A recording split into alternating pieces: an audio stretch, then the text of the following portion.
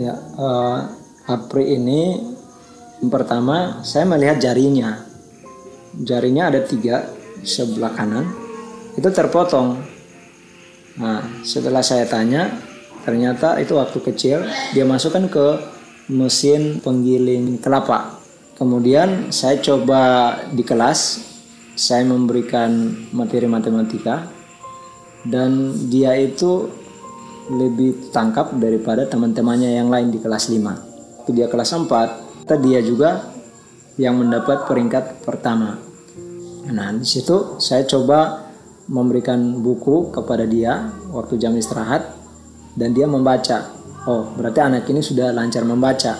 Untuk si Apri ini dia rumahnya jauh, jadi kurang lebih 25 sampai 30 menit untuk datang ke sekolah dan mereka itu pasti datang pagi-pagi. Jadi mereka jalan dari rumah itu setengah tujuh. Nah setengah tujuh di sini masih pagi sekali.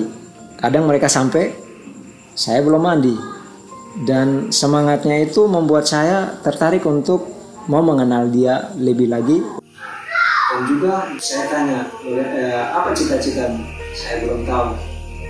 Saya ini anak pintar masa dia belum punya cita-cita Nah, di situ saya mulai mendekati dan bicara dengan dia untuk memberikan dia gambaran tentang pekerjaan di masa depan, apa-apa saja yang bisa dia capai, apa-apa saja yang bisa dia gapai. Nah, untuk sementara uh, yang dia sampaikan kepada saya, dia mau jadi guru matematika. Nah, tapi saya bilang, oke, okay, kalau memang kamu mau jadi guru matematika, pertama belajar matematika hitunganmu harus bagus. Nah kemudian kamu juga harus belajar lagi untuk memahami. Memahami lebih dalam lagi tentang isi bacaan. Karena ada matematika itu juga dengan bacaan kita harus memahami isinya dan kita harus makan dia ke angka. Jadi itu yang ingin saya mau bagikan kepada dia. Ya saya tertarik kepada dia gitu.